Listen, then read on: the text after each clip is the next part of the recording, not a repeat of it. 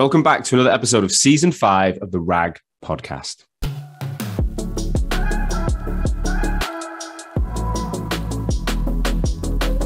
As you guys know by now, this is the number one podcast across the recruitment sector globally. And we've always been on a mission to help recruitment agencies grow by interviewing founders and telling their stories of success from startup all the way to scale up and exit. Well, this season we're a little bit different. How do you, as a recruitment leader and founder, maintain your family and friendships whilst being the best person at work? How do you stay physically fit mentally and emotionally? And how do you find time for yourself in the madness? How do you find time for self interest, for hobbies, and self improvement? Well, to help you with this, I'm going to be interviewing someone every single week that can demonstrate experience in one or more of these areas. So I'm going to talk to recruitment founders and also some experts from outside the industry who can deep dive into things like relationships and health and well-being. So sit back, relax, and I hope you enjoy today's show. Hello and welcome back to another episode of the Rag Podcast. On today's episode, I am joined by a guy called Matt Baird. Now, Matt is part of our sponsor, District 4's member network, but also operates under his own banner as Baird and Co. Another uh, another installment of my recent startup series, where I'm looking at getting the guys that are so fresh on the ground of recently starting organizations to give anyone sat there at home thinking, could I do this on my own? The inspiration, the knowledge, the reality of what it's like. So Matt started in February 2021, having been in recruitment sorry, 2021, not 2001. I've been in recruitment for just under 10 years. He uh, worked for a number of agencies and in the pandemic decided it was time to go alone. Um, in that time, he's had some huge successes. He's had a lot of failures. He's made some mistakes. He's been isolated, but he's found a community. He's got, he's, he's achieved and, and felt and, and been through a lot in that short period of time. So, um, I'm super excited to get into this episode. I think anyone who's thinking about starting a recruitment company will benefit massively from this. Without further ado, Matt, welcome to the RAG podcast. Hi, Sean. Cheers for having me on. It's uh, it's good to see you again. Absolute pleasure, mate. When did how long ago did we meet? It was about three, four years ago, maybe. Yeah, about about that. It was at one of the uh, TRN events. I'm pretty yeah. sure. Yeah, I'm pretty sure. And then we spoke on Zoom, and yeah, the world was a lot different back then, wasn't it? Yeah, like we I remember we had like a Zoom chat, and that was a rare thing. So what do you mean? Well, that was when I just introduced it. So I think 2018, late 2018, we said, well, why are we jumping on trains all the time? Like, let's just fucking use Zoom. And people were clients were a bit like, oh, really? But uh, we were like, we're doing it. And, and then suddenly, two years later, you tra- training people in how to use it because yeah, no one else life, knew what was going whole on. Life, whole life revolves around this little box of a screen now, which you know uh, it works for me. I like it. But look, Matt, I've done you an introduction. I'd prefer if you can give a better one. Uh, do for anyone who doesn't know you, just tell us who you are and what you do right now, like the overview of you and the business, etc. Yeah, so it's uh, it's Matt Baird. I've been in recruitment for 10 and a half years. Um, I set up on my own in February of 2021. Right. Um, I mean, there's 2020, very 2021 special. years just get very confusing. But yeah, 2021 set up on my own, but in partnership with District 4. Um, I wanted to wanted to set up on my own, um, but knew what I was good at and knew what I wasn't good at. Um, so I, you know, spoke to District Four. They provided all of the back office support. They got me a tons of business. They got me finances together. They got me all this great stuff. They partnered us with Vincere and all the rest of it, um, and just let me do the recruitment piece. But I kind of, uh, when I started in recruitment, um, I fell into social housing. So there was just a team at, at Venn Group where I was at the time um, that they felt I'd be good at. They felt I'd be good at public sector. Didn't know really anything about the sector. Where you where you from? Birmingham way? No, so I'm originally from Plymouth. Um, so I grew up there for 20 years, and then I moved around a lot for about five years, and then I'm now in Birmingham. Yeah. So where did you get I, into recruitment? Where were you based with Venn? Yeah, Birmingham. I was in the I was in the central Birmingham one with Venn Group, and just fell in love with with social housing as a sector. Absolutely, everything about its ethics, its morals, what it was trying to achieve, um, and then started training other offices and things like that. But we'll, we'll come on to that in a bit. But um, when I was setting up on my own, I knew I wanted to get back into purely social housing. It was it's a sector I love, um, and I really like the people in it. So Yeah, it's been about a year and three months now, and uh, is it just you still, or have you built a team yet, or just me? Um, just me. I it helps with District Four because if you need that admin support or you need some support here and there, then Sorry, they're there to support you with that kind of stuff. I think long term, I will set up a team. Um, I think that will be the the longer term aim to to probably build something around myself. But at the moment, it really works. I've got so much flexibility and so much uh, kind of freedom to recruit in the way that I want to, and and to go to. A, Don't rush the team. Don't rush it. Like everyone in recruitment's obsessed with headcount. Just fucking enjoy it for a bit. Like, see how you feel. And this is it. Like, I don't have. It's almost less responsibility, but in a weird way, more because you're responsible yeah. purely to yourself, as you'll know yourself. But mm. it's also, yeah, I don't have to worry about checking in with someone else, making sure work's being done, getting paid done, doing pay, all that kind of jazz isn't there. It's I do the work and, and also I'm doing, like, doing appraisal. like it because then when they work with me, yeah. They know they're working with someone who knows what they're talking about. And I think that's one of the key things in recruitment sometimes. And, and you'll know this yourself. Clients get really frustrated when you've got consultants you work with who don't understand the market. It's chicken um, and egg, it? You need them to understand. You need you need to go through all the war stories to get there, but you you know your clients aren't patient enough for that. So it's tricky. I mean, at the moment, I'm building out the sales team at Hoxo at the moment, and you know we've got four people yeah, so there's three in the team plus me and Amma, so there's a team of five of us, and we've always really done the you know jet revenue generation. It's a bit I love about the business. Um, but now it's like appraisal season, and we've got like right now we've got so many, you know, 30 people's appraisals to cover, and you know, I'm like, I do love the team, and I'm I'm happy where we are, but there are moments where I think back to when we were really small, and it's, it's just so much easier. Well, like I say, that's you know that's a week's work. Yeah, is, a, you know, thirty appraisals is a week, and and and it's not just that; it's the training that goes with it, it's the constant guidance and those kind of things. And sometimes you just want to do the bit you enjoy, and the bits I enjoy are doing the the roundtables and the media part of things that I do, and I enjoy doing the recruitment bit. And I'm yeah. like, actually, you know what? I don't need anything. Well, do you know what? My brother Jake, who was on the show a few weeks back, well, he's yeah. a he's a mindset coach now, and he, you know what? I spoke to him this week about you know just update. He's in Costa Rica. He's living this mad life, and uh, he said to me, he said look at all the different tasks you've got and measure how you feel when you're conducting them. And he said, and the ones that feel the best, why not just do more of them and get other people to do the things that don't feel as good? And I was like, that's a because at the end of the day, something I realized was when I was, you know, and I've run teams and managed teams and the rest of it. I like mentoring. I like yeah. kind of bringing people through. I like kind of providing a bit of guidance. The day to day management and I think people who have managed will say the same. They said, "Look, you know what you're talking about. You're great at what you do, but you're not the best manager." And I know that, and that's a yeah. skill. And it's, it's, because I don't enjoy it. I don't, uh, like you say, I don't get as much satisfaction out of have you hit your KPIs? Have you done this? Where are you with this? What's going on? Particularly when people haven't got the the kind of natural, um, or, or when you may be being managed by people who do manage via targets, and so that's yeah. how you're told to manage. Yeah, yeah. Just it it's just a self-fulfilling prophecy of people being unhappy. so it was, it was, pointless. Well, look, and you know what? I think it's really refreshing that you're you're on your own. You're happy on your own at the moment. Yeah, you might grow, but right now, and what's life like outside of work? What have you?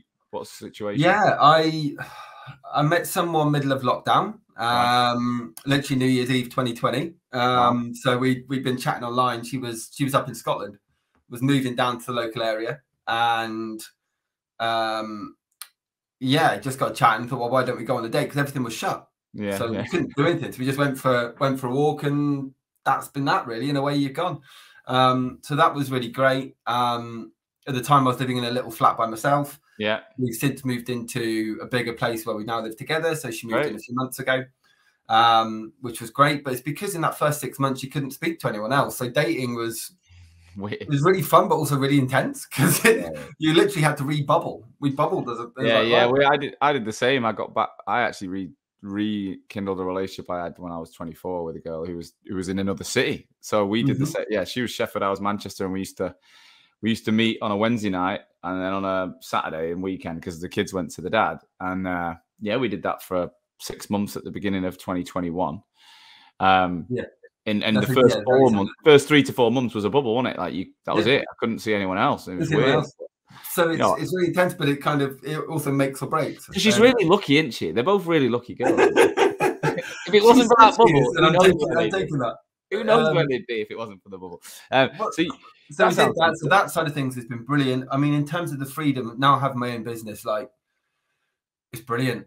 The, the amount of time that I can put into that relationship, the amount of time that I can put into going out and doing things with friends and not having to clear it with a boss about whether I can get annual leave or, oh, actually, I'm just going to go do this today. And I feel like, oh, I'm going to go and achieve with that is is amazing. Um, how many how many years were you in recruitment then? So you started at Venn. You oh yeah, started in Venn in 2012. Right. Um, so, so, I did nine months with Smile Education. Um, So Katie Reese over there. Yeah, yeah. Um, didn't really work out for either party. Joined Venn Group.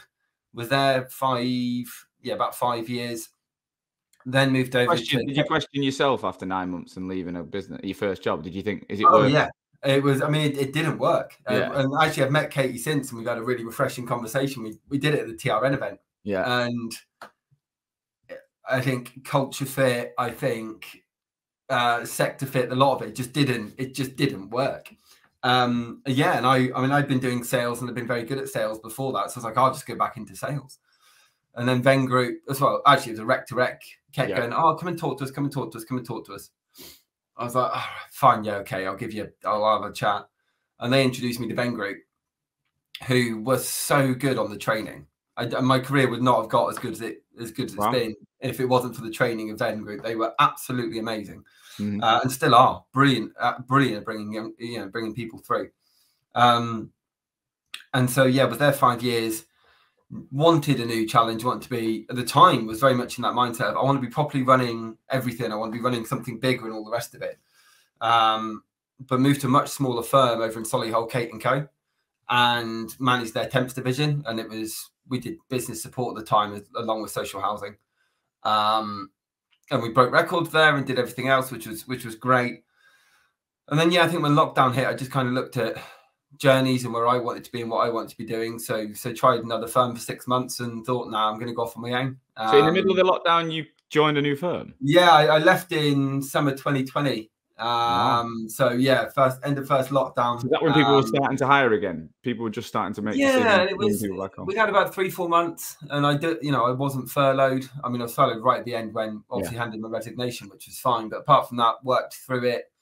Um, and then yeah, moved over, like I say, moved to a firm for six months, but was finding the same kind of things of going, actually, the things I enjoy about the job, you know, the doing the roundtables, networking properly, building longer term relationships without it just being about a quick win and a quick fix now, and more focused on having less clients, but that are going to use me more regularly yeah, rather yeah. than having and you'll know this almost those targeted metrics of going, oh, it's great that you know these clients we've had for a few years and you're getting more money out of them than ever, but you're not bringing on enough new ones. I was like, but we're making more money and we're doing yeah. better than we've done before, and it is that kind of mindset. So the problem is, is, is, is usually I think I said this a few times is when you're in a business for a period of time. If it's going well, you you, you kind of you, are on the same train journey, right? You're, you're both going down the track together, and you see the same vision, or you buy into the vision, and then I don't know what it is, but there's often a time where suddenly just some there's like a little derail, and then they're still looking at it this way, and you start looking at it that way, and then it, it's only a matter of time really before it, it's going to go off. And that's it. And you, yeah, and and there were a few, you know, and I, I will absolutely hold my hands up to my own mistakes with previous businesses, and kind of gone actually could have done that better, could have acted better there. Um, I think you, particularly when you're younger or when you're maybe a bit more I don't want to say less corporate, but when you're just kind of going, can we just get this done right? And you yeah. you convince you see that you know you say the wrong thing to a manager or the wrong thing to the wrong person, and then as you say, those those little frictions just become yeah. just become more. And I've always been someone who's quite, I guess, headstrong and someone who's wanted to do more than just recruit. So you know, like I say, when when I started doing the roundtables and when I set up on my own, I've got a network of twelve thousand people on LinkedIn, and I'm going, look, I, I can do more than just be oh do you need do you need me to hire someone for you? It's it's what can i do with that network to actually make a difference? And i've always been a big kind of uh big on kind of the social side and on the you know on our social responsibility. So yeah there were differences of opinion on a number of things including you know working in the office during lockdown and things like that with some businesses that i was just i don't really understand why very much yeah. just me on my team but you know, look, that's one of those. Uh, set up my you got to a point where you decided, you know what, other people's agenda and rules are just not for me anymore. Like that's it. Yeah, and, and it's and and the way that things are done, and the idea that no matter what you do, that's great, but what are you going to do next? You know, after a while, it just becomes that can we just can we just let the journey go and see where we're going? Because you've not done that before, and we're we're going great. So let's now not go right. Well, yeah, I remember doing a budget and adding 15, 20 percent or whatever it was for the year, and going, we're going to need 30. I was like, well, that's fine, but the beginning of the year, we're going to be on this amount of money because my temps are going to finish. Yeah. Well, you can't be. You need to be on here. Okay, so you do that, and then you start year here. Oh, mate, I had, I had literally, in I had an. It's just- identical problem. Identical problem. I had like three years of big fucking contractors coming to. I had like, I don't know, probably about thirty grand's worth of monthly hmm. revenue coming to an end in the first quarter of 2016, I think. And I was managing a team as well, so the business was doing. My little team was doing, I don't know, a third of the business revenue, and fucking all the legacy work I did before I went into leadership and management was still running. And so we had this big book, which was great, but it was coming to an end naturally. and Eventually, it's okay. nothing, yeah. So it's like I've got now I've got to manage all these people, hire people, and replace the book at the pace it's finishing, plus do new deals to net growth. I was like, so we did three months of not growth. We just stayed the same because we every deal we did, we lost one. And I got I got basically pulled into a room like this is the worst you've like what's going on? What's wrong? What what's wrong with you? And oh mate, I was fuming. I was like, going, this is bigger than when I took it over. It's Mm. bigger than it's ever, you know, we're still doing well, we're still making plenty of money. We've I'm more than covering my own overheads five times through, and your bonuses certainly aren't reflecting that. yeah. And then when you you look at that kind of start of the year and you're kind of going, look, I know my candidates well enough to know that's finishing. You can have a go going, well, you should have done more BD or whatever else. But what I've been doing is managing the growth of that book. My team is me and one other person. What what do you? Uh, and yet there was no BD from the higher ups. You know, the directors didn't do BD. So you kind of end up going, right, well, that's one of those. Um, it, it was frustrating. I think it was frustrating all round. And, you know, I think, but there was, but there was frustration on both sides. They were frustrated with me. I was frustrated with them. Um, and I, you know, I look at things in general and kind of go, actually, I've had, I've had a really good career. I've been mentored by some amazing people. Mhm. Um, but the way I want to run kind of run things now is is different. And I Can you remember? Can you remember the moment when you made the decision, like what you were doing, where you were, like when you were like, right, it's fuck, it's going to happen now. I'm going to go on my own. Yeah, I it, it was it came through lockdown and it came through. I wanted more freedom. I wanted to be able to work at home if I needed to, you know, or if I wanted to. If I wanted to be at home and my team was just me, I wanted to be able to just go. Why am I traveling 20 miles a day or 30 miles a day to go to an office when I'm then just sat in a corner by myself anyway, working there? Um, and also, I wanted social housing is a really really interesting sector because the people in it when people are in it they don't tend to leave it. They they work their way through the sector in a number of different ways. And when you when you get to that stage of really working with people who are constantly supporting those who are most in need it does rub off on you you know you you want to be doing more than just as i said before you want to be doing more than just recruiting but Yeah. when you do that you then get businesses coming to you going, look, you really understand the sector. We want you working on X, Y, and Z. You know, I've recruited COOs and you know other executive positions over the last year that I wasn't doing before I set up on my own. And the reason for that is because I've built myself a reputation of someone who really understands the sector without it being muddled by everything else. And I think recruitment companies often, and some have really improved, um, were for a long time just talking about, oh, we've broken our best ever targets, we've done this, we've done that. Well, clients aren't bothered about how much money you're making as a company. They want to know what you're doing for them and their industries. Um, and it was, it was just this idea of going, why can't I, you know, could I do this on my own? And I didn't have the finances to do it. So I started reaching out to businesses, which I think there's a number of them out there, which are like, oh, yeah, we'll give you X amount of money you set up on your own and then during year one you need to build this during year two we need you to build this and it felt just a bit like frying pan into the fire going Same I've as done that. yeah. actually that's just it's just done by myself doing it rather than anything else and then district 4 came along um yeah and it was exactly what i was looking for and and the support we've had from the team since has been amazing. But they are just a brilliant hybrid version of an agency, but by yourself, because there isn't a need to, you know, you run your business in the way you want to run your business, and the support is there. And yes, obviously you have to build because you have to manage overheads and things like that. But it's not. It's not like anyway. targets. It's not like you've got, yeah, you've got to build because you've got to live. that's the thing. Like, how does it work with the name then? So you're when you decided you're going to go in with James Johnson and the District Four guys, you you know you've got the D4 brand and then you've got Baird and Co. So how does that all work? Yeah, so you still set up your own limited company. You are still your own business. You are still, you know, I invoice uh District 4 invoice the clients and then I invoice District 4. Right. Um because they're because District 4 are the ones that provide you with the CRM, with the finances, with the HR team, with all the rest of it. Yeah. Um and as, as well as having like you know, I've I've had a coach since I started. Um, which has been one of the best possible things that could have been for me and my company is and, and Claire Mohammed has been my main coach throughout. And if you don't know Claire, she's, she's no, brilliant. Yeah.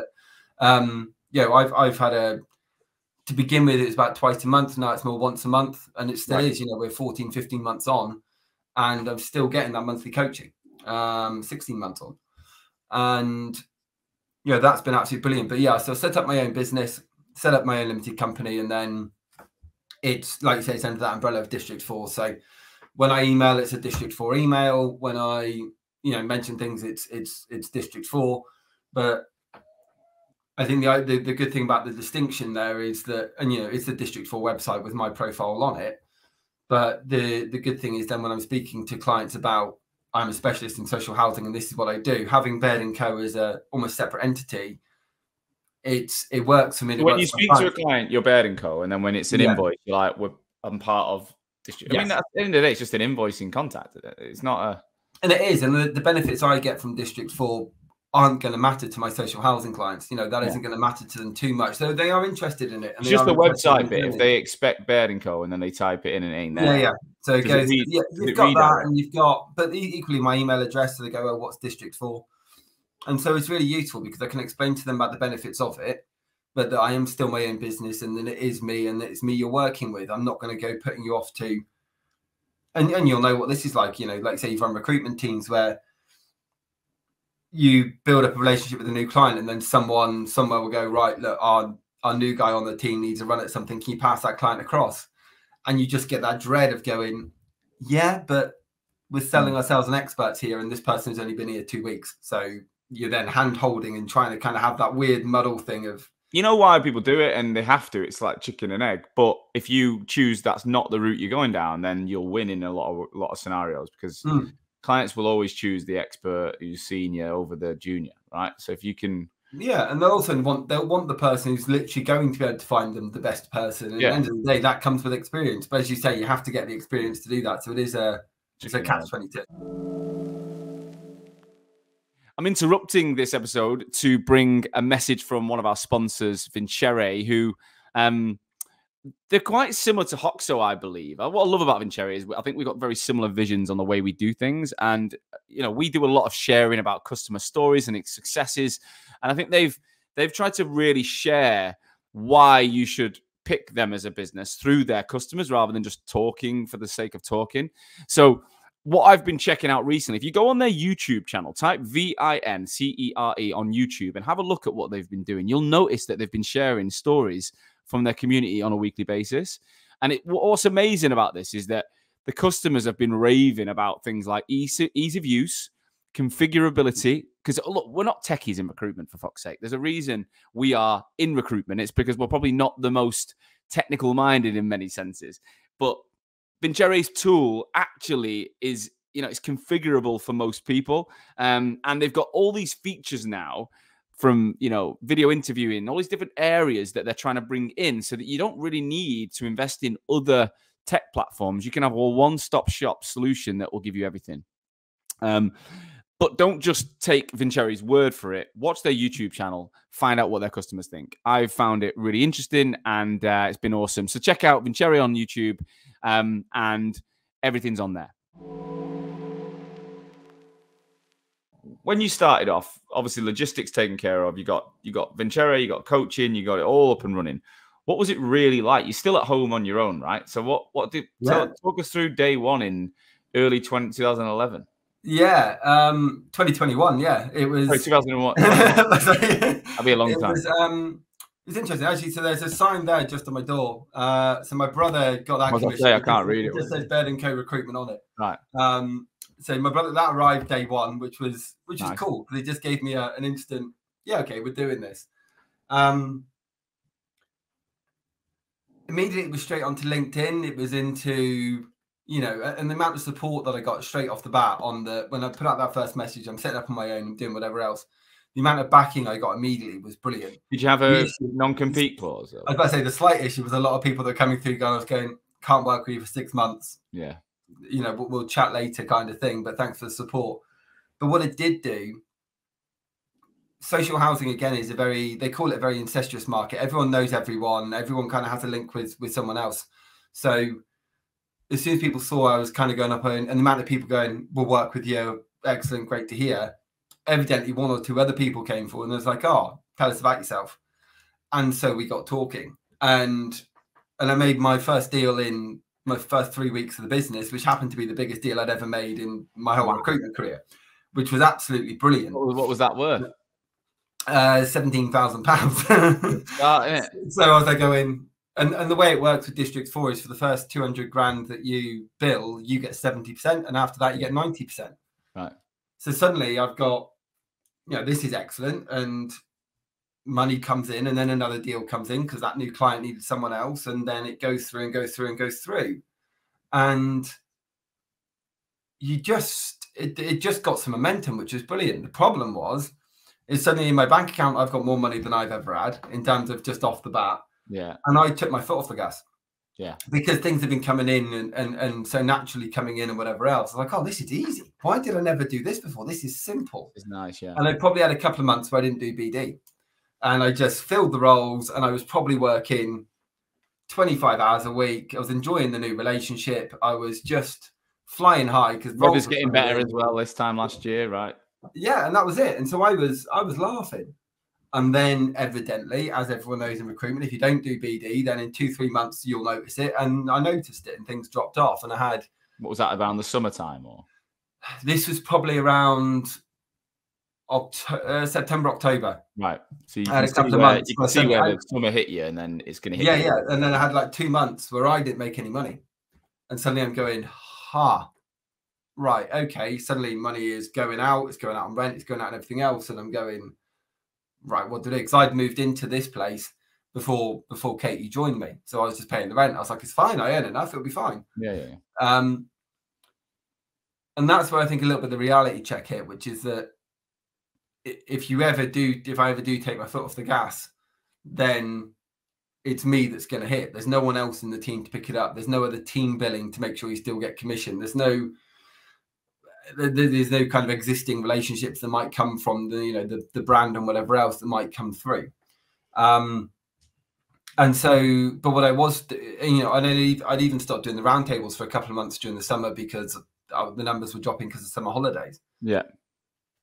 And then i just got back on it and got myself a plan and again sorted this with claire and sat through and we really kind of analyzed what, what, what did you what did your day plan look like when you made the changes yeah, so I mean, it's still up on my on my left hand side. Too, So I've still got a, a, full wall chart here, which I created with Claire probably about a year, uh, about nine months ago.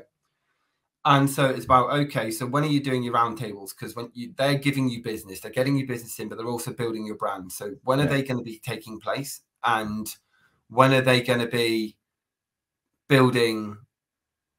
Uh, so how are you then going to follow up on those? How is that how is that process gonna gonna kind of build and how are you gonna build yeah. that? So we put that in place. So it was right tuesdays at 11 every week now with the roundtables. Brilliant sorted. Right wednesday get a video online. And i also worked with lindsay meredith for a mm-hmm. while yeah. who was helping the business for a while and she kind of helped a lot with the video side of things. Right okay so what day is your bd what day is your linkedin bd what day are the times you're going to be reaching out to existing clients? When are you really going to be targeting new when are you going to be spending time to build that new list of who you want to be speaking with and who you want to be working with? Because I work across England and Wales. Um, and it just and basically what you did is we just went back to basics. And that's what recruitment is and you'll know this yourself. Recruitment is all about the basics. And if you get the basics right and you know what you're talking about then then it works. But you've just got to be consistent. You've got to get those basics right. And i think it's changed from the days of cold calling and from constant hammering the phone and that kind of jazz i, I haven't made a cold call in four or five months i've made yeah. plenty of phone calls but i don't cold call anymore you know i build relationships through linkedin or email or whatever it'll be and we set up a call and a conversation and and we that's basically what I tell everyone. Like that's just no, I don't I don't cold call future, right?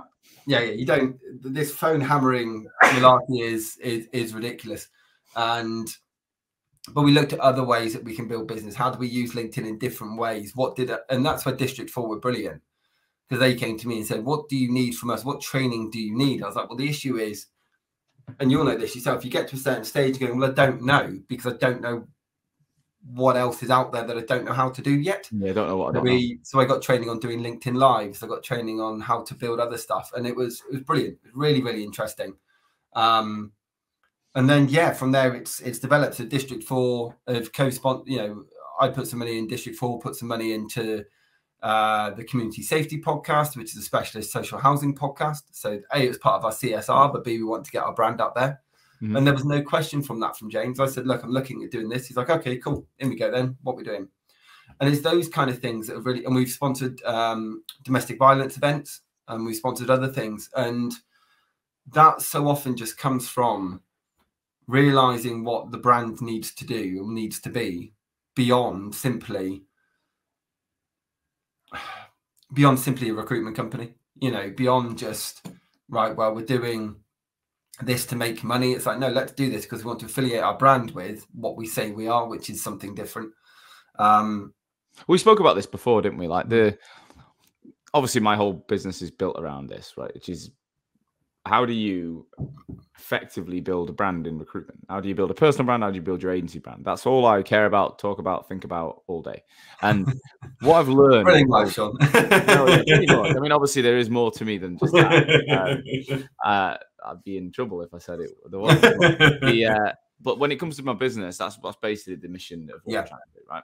And it's funny because what recruiters need to survive is attention. So what you said before is you stop doing the basics and you you feel it. Now what happens is you stop getting attention. You said it before the call. You had a week off. There was nothing on your LinkedIn. You basically lost the attention of the of the market because you're not there. And then when you every time you phone someone, the intention is to get their attention. That's it. You want to you want to tell them something. Like you mm-hmm. want to find something out. You need attention, right? So the whole thing around marketing is about gaining wider attention. Now, is the attention from a roundtable or a you know podcast or a video or whatever going to be the exact same level and detail intensity as a phone call? No, hmm. it's not. Like people need to understand that it's not. You don't put a video up and get fifty phone calls coming in. Like it doesn't work that way. But what great. happens is, what happens is over time, and you know, you do your roundtables, you do your podcasts, you do your lives, you do your you know, you do your content on LinkedIn. What happens is the people that interact reveal themselves. So it's really easy to see who's liked your shit. It's really easy to know who's signed up to your event. It's really easy to see who turned up to your event. Like you people who buy into something that you're prepared to give reveal themselves. And as a result, they warm up the introduction. So the outbound becomes about how do I get people into the ecosystem and then I go and work that room as hard as I can. And obviously i know from experience that over time it then does become inbound. People will genuinely come to you and i get messages daily going sean can we talk about your your, your academy or whatever? Because I'm, I'm, still doing the the outbound bit. Like that's that's that is literally ingrained in my day but and my team's day. But the inbound comes later. Was what most recruitment companies think is right so we're going to pay a bit of money we're going to put some content out and instantly every client in the market is going to be like we want fucking here's a job every candidate's going to go i want to work with you and it's just Mine still, you know, I do get, I, I get a nice blend of inbound, uh, uh, of inbound work. But as you say, if I didn't do the outbound with it, then I'd be getting nowhere. Yeah. But I know that actually my inbound, sorry, my, my marketing side of things, it's almost just to reinforce my outbound calls. Exactly. So kind of saying, look, I'm not someone who's just saying I'm doing X, Y, Z. The reason I've got, you know, you want it, you want an expert. You want someone who's talking about it. Okay, well, go and have a look at any of the 30 recordings of the roundtables I've yeah. run where I'm not just facilitating a conversation, I'm actively engaged in it and putting questions out there to ask what we need to do as an industry to fix this. And I've, I'm actually, I'd say 70, 80% of the way along the way of becoming a board member at a housing association, which has been wow. a goal of mine for a long, long, long time. But that's come about from the roundtables, the branding, the marketing, but also then being able to turn around to someone and not just have those conversations about, oh yeah, look, I, I recruit and I do X, Y, Z. It's I can ask questions about the market because I'm doing the outbound. So because I'm doing the marketing work and I'm doing those roundtables, I'm learning all the time. And yeah. people are talking about stuff. And you'll know this. You'll have learned more from, you know, what's going on in the market and what's going on elsewhere from your marketing and from people talking to you about your marketing stuff than you ever could from a phone call because yeah you know more questions to ask. You know questions to ask that didn't even exist before. Yeah, I think this is the. I think this is you say as well. And you talk of, a lot wider than what you do for a living. So most recruiters will ring up and they'll just talk about a vacancy and their experience, and they stay in this box, mm-hmm. and that's okay. But when you then enter, leave the box and start talking more industry wide, again, you're never going to beat the industry in the knowledge of the industry. You've got to remain true to the fact that mm-hmm. you are a recruiter.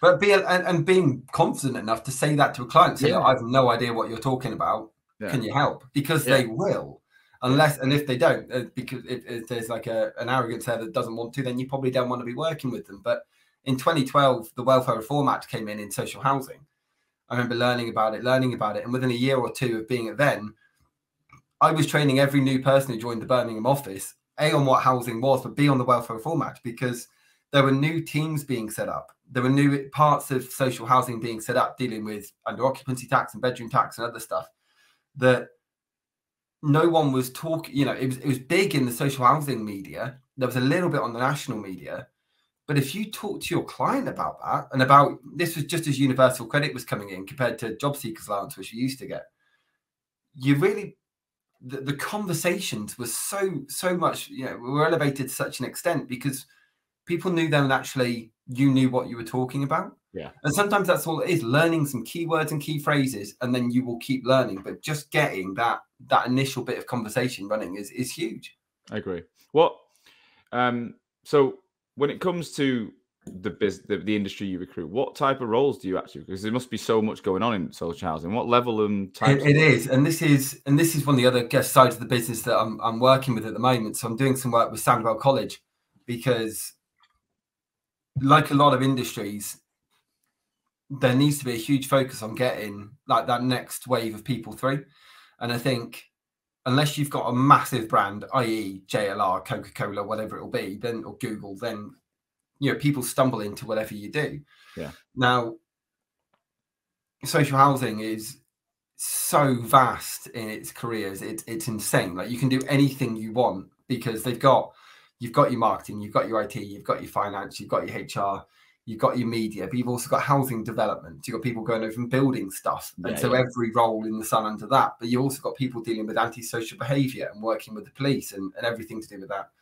Um, I tend to work on roles from kind of housing officer, which is, I'd say, 25 to 30K, um, up to, I mean, the, the, most senior role I worked on was 110,000, which was for a specialist business development director. Yeah. Um, but, you know, then other places I've recruited a COO at a lower salary. So right up to executive teams, um, and I've recruited for boards and I've recruited for you know. Would you go into a housing association and say I'll cover any area, or do you say I'll only you know give me? No, I, am probably I am definitely stronger on housing. Kind of splits into two areas. You've got, as I say, your, your housing management, which is your people who go out and look after people, and then you've got your development side, which is your trade operatives, right through to your you know development directors.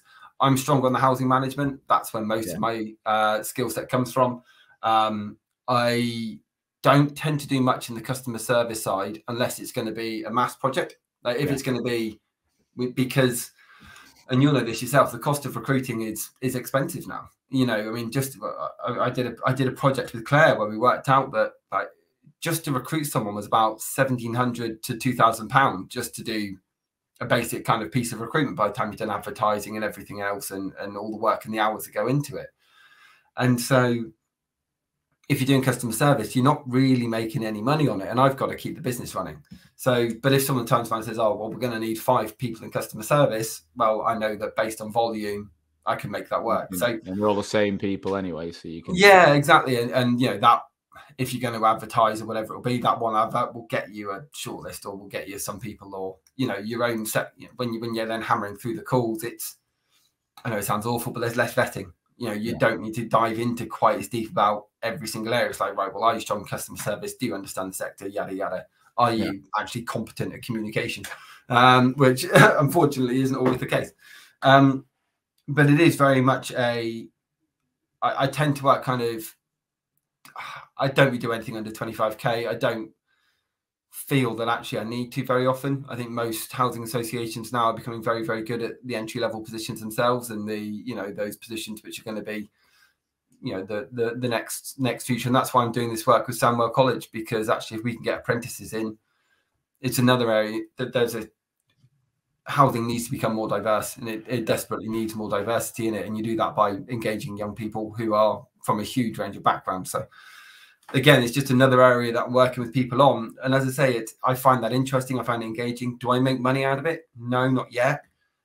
Is it something though that if I'm going to have a conversation about that for an hour and a half a day, it's going to lift my own energy, and then I'm going to be better later in the day. And I think it's, it's also a topic that. that. I think a lot of your clients are going to be interested in as well. They oh, know, oh, they, they know it's a problem. What what I want to get into is more around like what's it genuinely like mentally on a day to day now? Because you've already been very open that you know you, mm-hmm. you you did take the foot off the gas, and you saw you felt the pain. Yeah.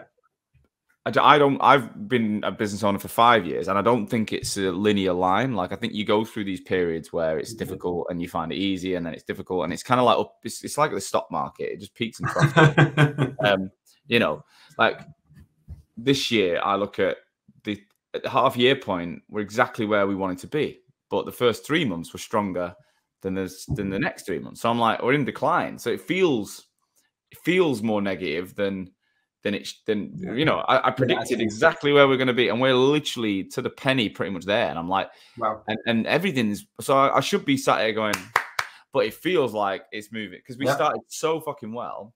But if I look at my day, I can empathize and go, do you know what? I think there's things I've stopped doing.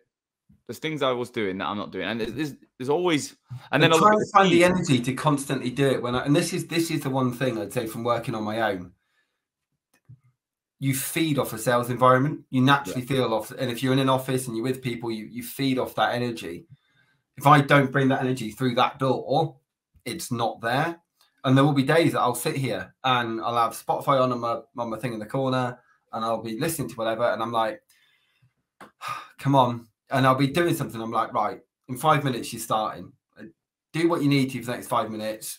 Play on your phone, check out social media, do whatever you're doing, and then you've got to get started with this. Yeah. And that is difficult. And it is. And but there'll be other days I'll come in and I'll get in here at half seven in the morning, and suddenly it'll be six o'clock, and Kate's going to me. She's like, "Are you? Am I see? Are you coming down this evening? What's your plan?" Yeah. Um, but I guess also on the, on the flip side of that, that's where it works so well for me because I mean, I've got ADHD anyway, and for me, one of the big things is I'll get I'll get areas of like hyper focus. So suddenly I'll come in and I'll do, and and I've, and I've known this from working in agencies. I can get done in two hours, what other people it will take four or five because I'll just go go go go go go go and get it done. When I do that, I'm like, right, I need to now stop for half an hour. And mm. I've got the flexibility to do that because I haven't got a manager going, Matt, what are you doing? Or yeah. whatever else. And you kind of We've all been. You still feel a bit guilty, regardless of. And you're just staring at your screen, and you've done nothing for an hour, but you're you're present in the office, so people are happy with what you're doing. Yeah, yeah. But do you ever feel guilty though, because of the way you were trained? Yeah. I do. I, I still five years later, because I was trained to always be at your desk. Yeah. When I'm not, even though I can justify it and I can yeah. say it's my business, I still feel guilt. I still oh, hundred percent. And you kind of going, I should be doing, I should be doing this right now. I should be. Yeah, but I don't need to. It's okay. I've got You've got time. Yeah, but I should be. And it's and yeah, I, I couldn't agree more. And mm. it's you still almost feel the need to justify every hour of your day and kind of going, if I'm going to be doing that, is that actually a worthwhile use of my time? See, what I've learned recently is that actually, as long as things are catered for, mm. it's when things have not been done. Like when you said you were going to do something that didn't happen, that's when mm. you feel it. Whereas if you can go, well, it's in the diary for later, so I can afford this half an hour in the sun or walking the dog or whatever the fuck you're doing. Like it's then it's okay because you got freedom within the structure. But it's when you break the structure and you go, well, I've just sacked that off. I didn't hit that number. I didn't do what I said I was going to do. That's when it. My clients always know that if they come to me with a position, I mean, my, my hit rate last year was uh, 80, no, like 92%. We worked it out. So there were a couple of roles that didn't fill, the rest all filled. Mm. I'm delighted with that number. That's brilliant. Great, yeah. And yeah, so my clients know, and, and the roles that didn't fill were one of those ones where I was like, they've had five agencies on it and no one's finding a bugger. So that's I, I don't you know I don't mind not filling all of them. Um, but anything where I turn around and say, look, I know I can fill this, and that's the other side. I think when you get on your own and whatever else, you have to be very careful with what you can promise. You have to say, look, yeah, absolutely, I can fill that, or look, this is going to be tough. This is what I can do, and this is what I can't. Um, but anyway, when I was when you when you're trying to kind of justify your own time and the rest of it, you have to I, I couldn't agree more with what you said there. You have to have that kind of list of this must be done. I don't care what mood you're in. I don't care how you're feeling. I don't care if you've been out the night before. I don't care if you're on a week. That must be done. And if you just get that done, at least you're on the, you know, you'll know that in a couple of months yeah. you're going to be okay and that's going to come through because of X, Y, Z, because you know how your market works.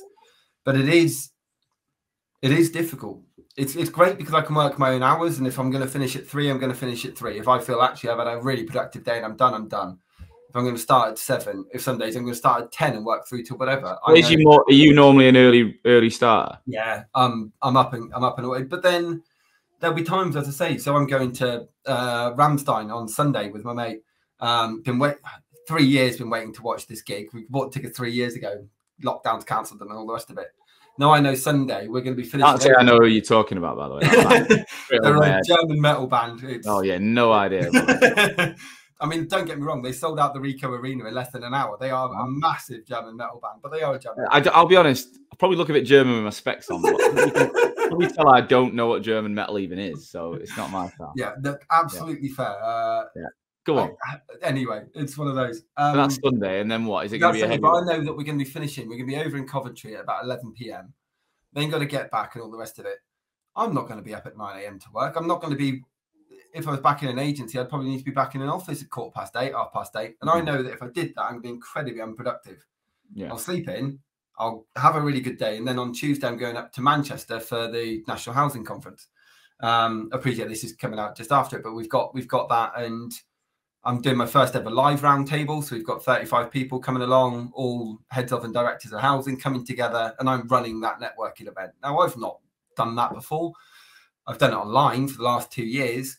And so I know what I'm doing just about. But A, it's going to be a challenge, but B, it's an opportunity I, I've self kind of either self funded or I've got sponsorship for that I'd never have done before setting up my own business. And they're probably you know the amount of time that I've spent on the roundtables and rest may not have been it would have probably been difficult to justify if I was still at an agency, and yet now I've got this event running, and it's it's it's a phenomenal opportunity.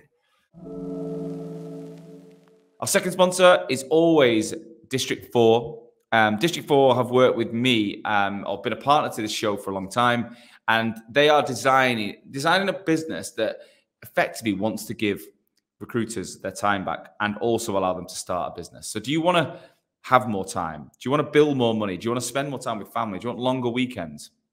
Well, all of D4's members have found that. You know, they don't have meetings and commuting and all the unnecessary shite that a lot of recruitment businesses put their teams through, especially when they start and they think they have to keep all of the structure that they've had before. Sometimes for people like you, and some, I mean, I'm a bit like that. I like to wake up and just know I can control my destiny on, on, a given day. And District 4 allows you to do that. So if you're somebody who wants to start a recruitment business or has already started and is struggling to scale um, in the way that you want to, not the traditional way, then get in touch via www.district4.io forward slash Hoxo. Check out what they can do. This is what I mean by your working day is is what you need it to be, but I think you need those moments, as you as you mentioned there, where things are more difficult, where you have those periods of decline, because it makes it gives you that little bit of reality check going. Yeah, things are never going to be great consistently, and I mean, unless you're going to own Amazon or something, then your money isn't going to come in every single week, every single day, every single month. You're going to have times of actually, you know what, we need to try something different here because this isn't working. And yeah, often as, as, we kind of circle all the way back through, is you've just got to get back to your basics. But what are the basics? Would you agree that in those instances, it does affect your confidence and your ego, and it makes you think like it's my fault, I'm not good enough. Like, do you still go through that in your head? Yeah, definitely. I think you still get that imposter syndrome. You definitely still get that moment of have I made the right call? Um, there was definitely times back end of last year where, you know, if I was going to go back into the agency world, there's there's an agency I know that I'd reach out to um, that I've spoken with since. Um, not in terms of joining them, but they reached out and said, "Oh, we know you've left it. Wherever you know, would you consider coming speaking to us?" And I was like, "I'll set up on my own." But if ever it doesn't work, or if ever I feel I need to go back into an agency world, then they'd be who I'd speak to. And yeah. it's it's difficult because as I said earlier, one of the key things as well in recruitment is that it's the social element. It's a massive part of massive part of the game, and you don't. Well, I'm lucky with District Four because there's still other guys in District Four that I can speak to every week, that I can speak yeah. to every day, that I can reach out to, we can build relationships with. If I didn't have that, it'd be very, it'd be very lonely, it'd be very difficult. And I think that's probably one of the other reasons why people may build teams even faster than they maybe need to because it's just company. Yeah, um, but Jez Heard, who I interviewed a couple of weeks ago, he said the same thing. He was like, he he just fucking he just needed people around him. Like he's like he's lonely. Mm. I had I had some brilliant time working down at a co-working space in Moseley near me. They're really good. Don't get me wrong, but nearly everyone there was almost a pure on your laptop role. Oh, and mate. So, yeah, and I was on the phone. Don't and get me on like that. Going back to those days they hate you as well. You're the only you. one on the phone in an office, and but it was like that all the time. And I was like, no, can't. But they, you know, everyone else is like, oh, it's okay. I'm like, no, don't like this. Don't oh, like oh, no, I, have been told off in every co-working spot I've ever been in for talking to. you. Yesterday, I, my next door neighbor knocked on my door and said, "Can you be quiet?" Because I was working in the garden. I was like, "It's my fucking garden." like, like, yeah, but I can't concentrate. I'm doing a written piece. I'm like, put your headphones in or something. Like, yeah, yeah, like, dude, yeah, you can. You can't win in a sales job. You can't win. But then I couldn't imagine going back to an office with everyone talking and trying to have a decent conversation. I don't know how we used to do that with one ear. It was madness. Yeah, it was. And let's say, I mean, I guess I was. Uh, you you just learn to tune it out, don't you? But I think as well when I when I was working in offices and when I was doing well in those offices, half the time my ear was always listening out to my team or other people in the company or wherever else, just see if I can help out elsewhere because I was yeah. one of the more senior people or whatever it'll be, and or I knew something and I knew I could help. So therefore, yeah. you are half concentrating, and then you've got, oh, why haven't you done 20 more candidate calls to find out a lead? I was like, oh, because I'm doing other stuff that's working. And yet it's it's those constant, you know, and, and one of the places I worked was one of your targets was on phone time. How long were you on the phone each day? How long are you on the phone every week? And you just start kind of going, you're dragging out calls. You yeah. are calling businesses that you know. You are yeah, you're driving yeah, the wrong. Yeah, yeah, basically, I would be like, I would call you, and we'd yeah. have a chat for 25 minutes. That'd be 25 minutes on my call time. Would it give me any value? Probably not. No. Would I have got more value from my business by doing half an hour on LinkedIn, an hour on LinkedIn, doing outreach? hundred percent. Yeah. It's just it's yeah, not... but Matt, you haven't logged all that on the system. I was like, that's because I don't want to spend all day doing logging stuff on the system. Just trust me that I will make you money. Yeah. And and that's the one thing that... I can hold my head up and say I've done everywhere I've been so that comes bringing that back then to your current lifestyle. A couple of things I want to ask about. So, like, what's your biggest fear right now? Deep question, but what are you worried about? I think I'm still worried it won't work. I think I'm still worried that it'll get to a stage of the clients I'm working with will suddenly go, we're not going to, you know, we, we've signed a PSL and you're not on it, or uh, even though there's no reason to think that at all. No. I think it's still a bit that imposter syndrome. I'm, I'm worried about a, um, a recession. Evidently, I think everyone in recruitment is a bit, but I work in the public sector. Yeah, and I work in social housing. And the one thing with that is that they didn't they recruited during lockdowns. They recruited, yeah. they didn't stop, they didn't go into furlough. A few of the trades teams, um, sorry, a few of the frontline customer service teams might have, but by and large, everyone worked through it. Everyone continued to work through it. It actually created a bit of animosity sometimes with the private yeah, sector because no one got that time off. Um, and obviously now the public sector are the ones that are trying to get a pay rise that they feel they deserve and aren't getting it. Um, and Yeah, I guess it's a really interesting one in terms of biggest fear because you never want to kind of be called out for you know one of the things i'm is within social housing is i'm authentic like i know this sector and i care about this sector yeah. and you don't want someone turning around and going oh well you're only in it to make the money and that kind of spiraling i'm going i'm, I'm really not like yeah. yes i make money out of this yes it's a business yes it's a company but i'm really trying to kind of add value and give back here Everyone losing that kind of everyone. credibility within the sector and losing that you know, I I I I probably see my career transitioning over time in terms of constant, you know, always having that recruitment piece there, but doing other stuff as well. But in the long run, I you know, I'd love to consult more with the social housing sector myself as a as a as an actual candidate and you know, I mean, I've worked with boards to talk about their succession planning and what they're missing out, and looking at it from a from an outsider's perspective. And as I say, trying to get a role with the board myself at the minute. And I think it's one of those where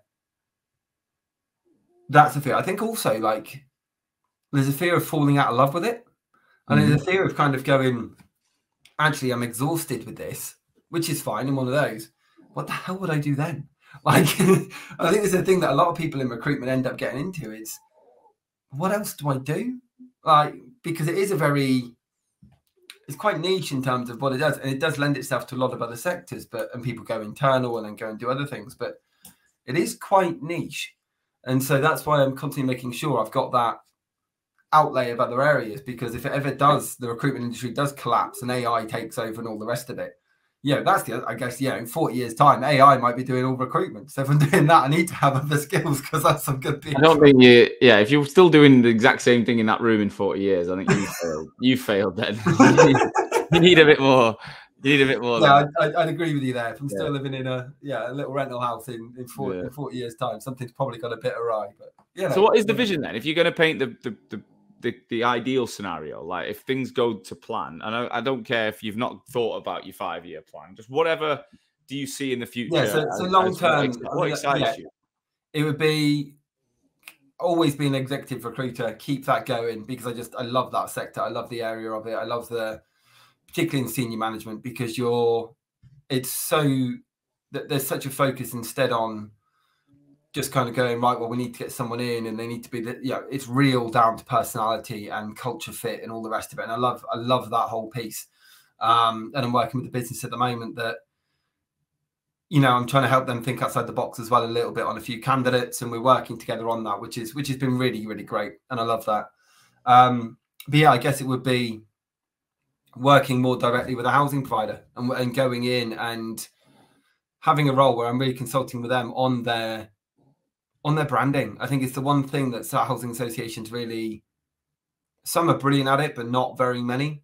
Mm. And there's definitely a piece there around working with them, and it required more training for myself. You know, I'd have to get more. You know, I'd probably end up speaking to you guys about you know getting training on whatever else. But working businesses, go in and go look, look at your business's LinkedIn, look at your what you're actually trying to deliver. You're trying to recruit. You're trying to really engage with your audience, um, and you're trying to engage with your tenants better. And yet, this is what your branding is saying about you right now. So yeah. this is what needs to change, Very and this is how I can help you do it.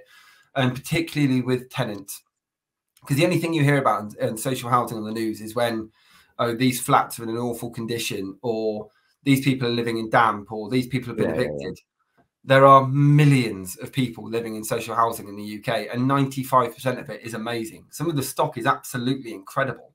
And yet, isn't there a rule now that like even all these new build estates, there's a small percentage needs to go to social housing? Yeah, so it's been in place for years. The Section 20 it's been in place yeah. for years and years, and yet you don't hear about it. And actually, you see some of the stock that's going up. You're going, well, anyone would live there. Yeah. And you have stuff like shared ownership. I've, I've had friends who bought shared ownership. So the housing association loan part, your loan part, and you'll slowly buy more and more of it off until you sell it.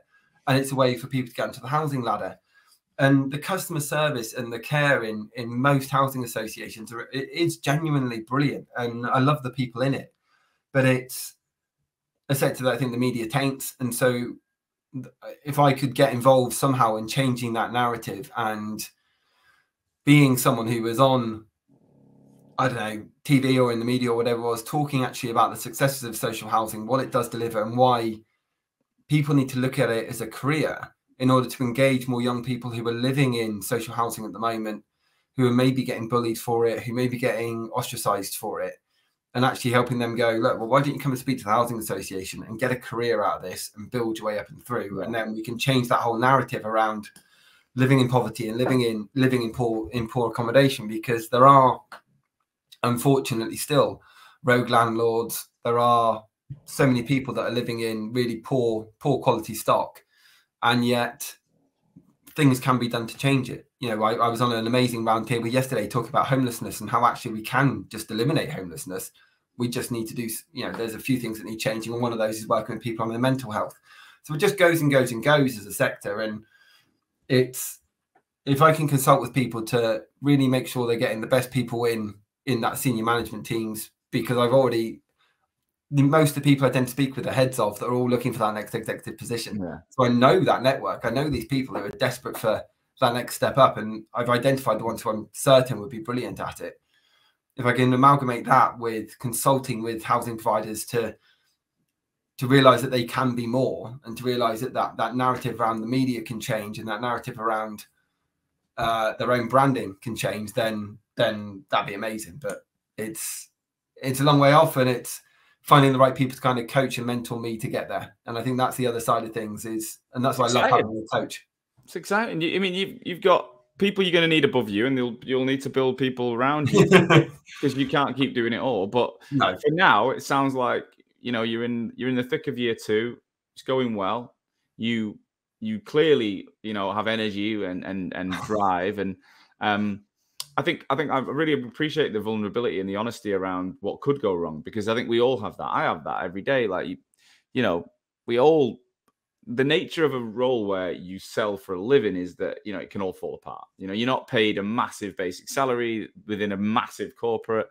You are everything you you you know you eat what you kill or whatever people say but that, that doesn't there's, there's there's unfortunately not a long term obvious clear you know if i just sit on this it'll it doesn't it, you've got to keep keep working it. So you'll know this yourself when you set up on your own there's no salary. No. Like it's if you're not if you're not making money if you're not if you're not you know if you're not actually selling anything you sat there without an income coming in. And it is it's it's it's a big challenge. Um and yeah, I'm so glad I did it. It's it's something that a lot of people turn around and go, "Oh, really proud of you for doing it. Really proud of you for giving it a shot, etc., etc." And that's great, but I've always probably just been a bit compulsive and gone, "Sod it, I'm going to give it a shot." Yeah. Um, There's a lot of people who who think it through for years and don't do it, and that's what this show's designed to help people who are already growing growing agencies, but I'm really, I'm really passionate about that startup community, like you guys, you were two years ago. I want people who are thinking, oh, could I do it? To listen to stories like yours and go, yeah, I can. Of course, I that's can. the thing. People talk as well about your restrictions, and you talk about your six months of you know non-competes and the rest of it. When you set up on your own, you go national or you go international, you go whatever you need to, and most people who are setting up on their own have a network. Hmm. So they ask that network, look, I can't work with you for six months but who can you recommend that I could? And a network grows, and suddenly then your own network grows, and you become reliant on those relationships that you've been sure have been there for years. Um, and I remember actually, it's quite funny. A, a client turned around, sorry, an old business turned around to me. Uh, I was under non-compete, and I was really good friends with the director of housing. Really good friends. Uh, know his kids. We regularly quiz together. We go for drinks together, and I got a letter through from them legal letter. We're taking you to court because you've broken your non-compete. So I got him to email them, and he just said, "Matt's informed me I can't work with him until X date. Uh, however, I'm still going to quiz with him. I'm sure that's not a problem." And we just never heard anything again. Wow! And it's that kind of thing of going. Actually, you know, you're allowed your relationships. You just have to make them aware that you can't work with them during this period of time. You can't solicit them. You can't talk about business. Yeah. You can't sell to them but you can certainly still have a relationship with them in terms of going, yeah, things are going well. Looking forward to yeah. you know seeing if we can work together an X amount of time, because you can't stop people talking to each other, no. and you can't stop people who've got long term relationships from having relationships with each other. Um, and those people will help you because, as you said there, whenever anyone sets up on their own, there is that. All right, well, we want to see that person succeed. We want to see that person do well. What can we do to help? and and people want to help. Yeah. At least that's what I found. No, I agree. And I think that's a great point. Um, Matt, thank you so much for today. It's been really, really, really a pleasure. I love, I love the startup stories. I think you're right in the thick of the early days. You know, you've got that natural energy. You've had ups and downs already, but you know, I wish you the best of luck, and I think you're, I think you're going to smash it. If anyone does want to, if anyone does want to talk to you, if anyone sat there thinking, look, that sounds like something I'd be interested in finding out about District 4 and how, and just your story in general, is LinkedIn a good place just to drop you a note? Yeah, definitely. LinkedIn's always great. Um, I mean, all my contact details, my email, and my number are on there anyway. Um, but certainly, you know, for me, District 4 was was the right way to go, uh, and continues to be because. And we've talked a bit today about kind of the isolation, and sometimes you get stuck on your own. But knowing I'm not, knowing that actually, if I'm having one of those days, weeks, months, you know, reaching out to the other guys and going, look, anyone got just some time to chat or um, anyone fancy a beer, even if it's virtual, or look, I've got this idea, I'm trying to run this. Has anyone got some time to talk it through? It's always a yes. It's always yeah, a, yeah right, cool. Let's have a chat. Let's see what we can do. And one of the guys had managed to inadvertently book a, a meeting with the board of a housing provider before and gone, mm. would you come with? I was like, yeah, of course I would. I'll come along. Um, and and it was great because you collaborate and you work together on this kind of stuff. So it's it's really important. Um, and there's just a lot of mutual respect there. And I think that's the thing that sometimes is, is one of the most fun things. Also, one of the difficult things sometimes in when you work with a, uh, an agency is you can end up working with people you just don't get on with. Yeah. And now if I don't get on with someone, I don't have to talk to them. it's yeah. great. But luckily I do. The guys are all great. So I'm fortunate so far. Wicked. Well, look, I hope people do reach out to you, and I wish you the best of luck. And we'll uh, we'll catch up with you in the future very very soon. Okay. Cheers, Sean. Thanks very much. Thank you, as always, for listening to today's show. I truly, truly hope that you got value from it.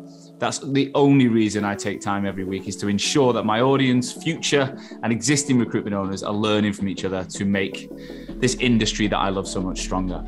Today's episode is brought to you by Hoxo Media.